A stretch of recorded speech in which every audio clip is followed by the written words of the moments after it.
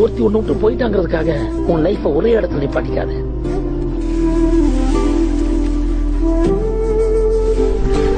சோகமா இருக்கிறதும் சந்தோஷமா இருக்கிறதும் நம்ம கையில தான் இருக்கு.